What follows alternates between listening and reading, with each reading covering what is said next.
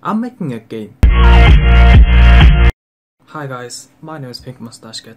I think I just did the biggest work in my game in terms of coding, which is remappable buttons. Okay, so hear me out. I could just forget about supporting controllers and made PC only game, but you know, learning new things is always fun. So this is this was a very big ordeal for me. I've been working on this for four days. Before that I was so busy. My mom was in hospital and other excuses and troubles. And I could just forget about control and support and make a PC only game, but you know, learning new things is always fun. So this was very big ordeal and in this video I'm gonna show you what I have so far. So I have this fancy animation, this pointer animation, this transition animation. Oh look at this, so fancy, even though no one cares. We have three levels here. In this level, if I press enter on this level, we can enter, but right now I disabled it because this video is only about the main menu.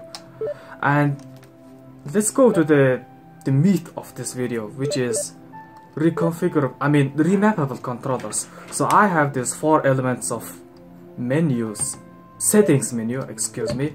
Video and audio does nothing for now. now. Let's go to controller and here you can see that I have two actions and two buttons corresponding to them. And if I press confirm on my controller and that button name flashes and while it flashes it means it's listening to the input and so I can press any of these four action buttons on my controller.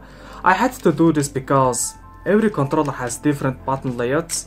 For example this Chinese controller has what I guess is PlayStation 3 layout and Xbox and PlayStation 4 layouts are different so therefore anyone can plug in the controller and remap their desired button to have the best experience of my platformer game. And let's say I wanna map uh, th this button, which is joystick button 3, and it can vary from controller to controller. And let's change the other one too. Let's change it to button 0, which is the topmost button. I'm guessing button 0 is a button in Xbox controller if you have one. And the confirm key is now button 3, return key is now button 0. So if I press on 0, I will return to the main menu and if I press on 3 I can go forward. And let's set it to my favorite which is of course the bottommost button is always the confirm button in gaming standards.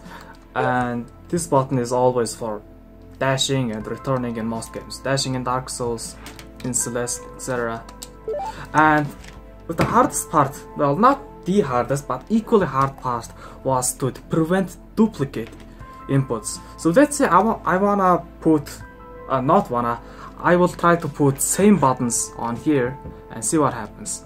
And I'm gonna press on this and the same button of confirm and it won't let me because that will mess things up and this text turns red which warns me to enter this on a different button again so I'm gonna set it back to button number one and let's try the same on here.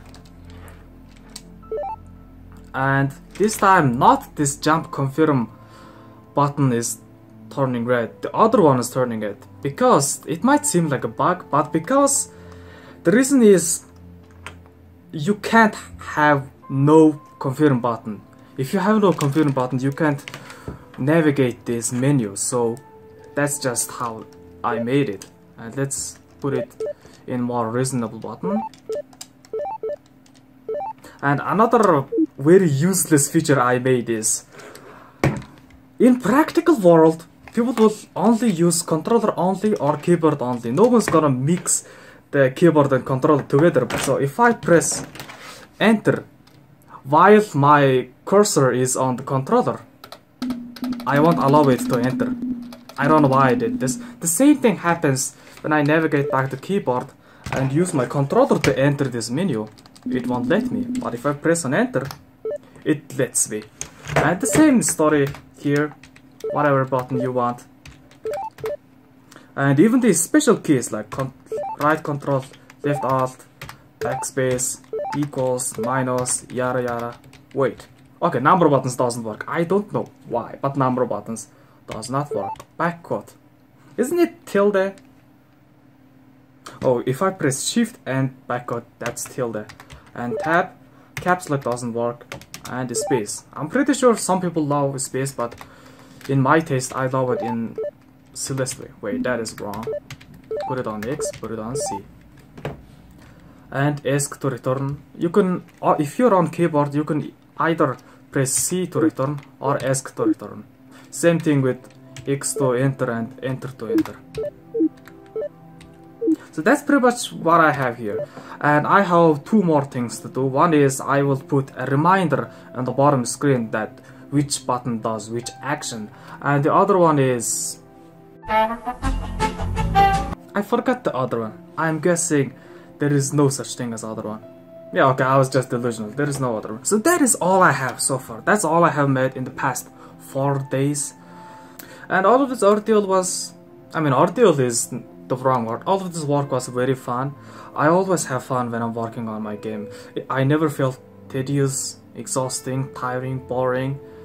But the thing that's stopping me is the fear that I'm not fast enough. I want to produce contents like factories, but I'm not doing it. And that feeling of fear that I'm gonna die before finishing this game is really holding me back.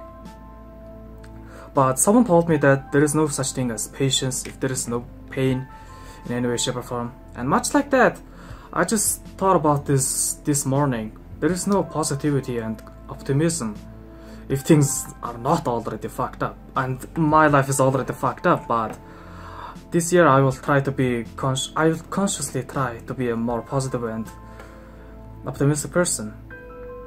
And you know, and last year was a very depressing year and well, I wasn't much of a person, positive person before that, but 2019 was very dark and that turned me into very much negative person. And even though in, I made a video about I will change in the 2020, but everyone knows that New Year New Me hashtag is such a bullshit. It's not gonna change in the 1st of January it's gonna take some time. And this year's one thing I'm gonna focus on my self-improvement is try to be more positive despite all the things that's happening. Well not much happens by the way. Things are not too terrible just constantly terrible okay? Constantly mildly terrible. So there is other topic that I want to talk about in this video I am pri prioritizing my work in reverse. What I mean is I should have done this main menu battery mapping feature in the end of my game. I must push contents that can be seen and heard and I should post on Twitter as frequently as possible. But I'm working in reverse. The content, content is the most important thing. Actually, uh, this reminded me one of the Unus Annus video. Sorry, everyone knows what 5 Minute Crafts is, right? The company behind 5 Minutes Crafts. 5 Minutes Crafts is owned by the Soul Publishing company, which says it produces an absolutely wild 1,500 videos a month! Now that's content! Huh? That's content! But I'm doing it in reverse. I have no content. I'm working on something that does not produce any content in the era of content. That just says that I'm a loser. I don't deserve any success. What am I even doing with my life? Uh, what kind of video is this? Uh, vlog? Devlog? Well, whatever. But I have to apologize that I'm not gonna be able to make any let's play videos as much I love making let's play videos because because of the people watching this gives me the feeling, the sensation that someone is supporting me, is watching me, is wishing me good. And I really want to do that. But my brother is here at home and while he's here I cannot record. Yeah, that sucks. But whatever. Now that I have done this big heavy coding work, I will start producing content, okay? And in the next video or Twitter post, I will come back with the content.